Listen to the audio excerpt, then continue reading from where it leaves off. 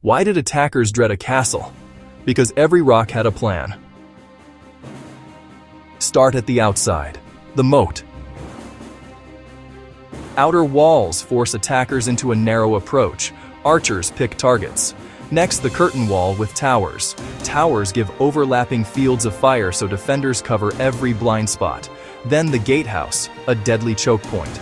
Portcullis bars could be dropped instantly.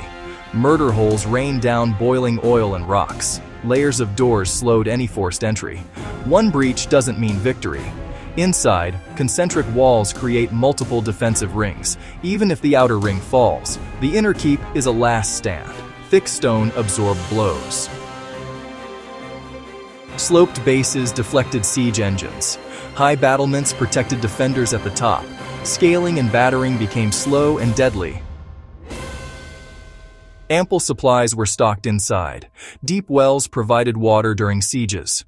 Locked stores held food and armaments. Castles could withstand sieges for months.